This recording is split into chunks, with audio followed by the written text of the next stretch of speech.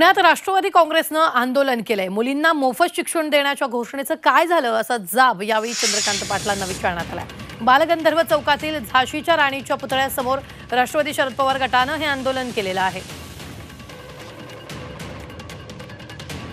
काँग्रेसच्या वतीनं हे आंदोलन करण्यात आलेलं आहे. तर मुलीच्या शिक्षणाच्या योजनेचं काय झालं असा सवाल यावेळी चंद्रकांत पाटलांना विचारण्यात आलेला आहे. पुण्यात चंद्रकांत पाटलांविरोधात हे आंदोलन करण्यात आलेलं आहे. राष्ट्रवादी शरद पवार गटाच्या गटाचा चंद्रकांत पाटलांना हा सवाल. बालगंधर्व चौकात हे आंदोलन करण्यात आलेले. आहे घोषणाबाजी करण्यात आलेली आहे. मुलींच्या मोफत शिक्षणाचं काय झालं असा सवाल देखील यावेळी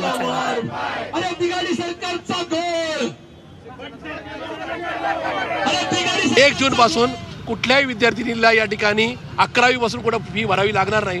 अशा प्रकारची एक फसवी घोषणा करण्यात आली.